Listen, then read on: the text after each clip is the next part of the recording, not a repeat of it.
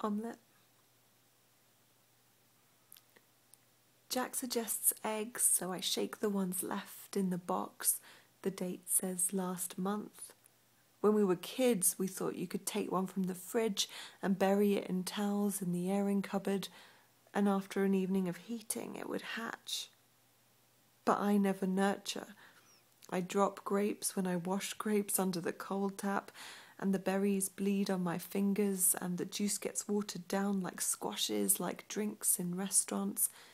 And if I was to open you, like the cellophane wrapper on a CD, a DVD, a box of Maltesers from Poundland, I'm worried you'd be like over soaked lettuce, over rinsed salad, like the lip balm I had when I was seven that was meant to be strawberry but tasted synthetic like just washed laundry, like penny sweets from the shop in 1989.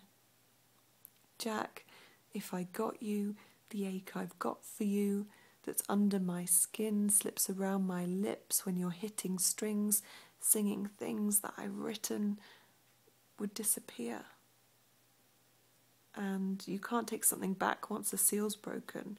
You can't get a refund once you've watched it. So I've got your trailer on repeat until I know, and your mum says you'll know when you know, and my mum says it. So we break some eggs.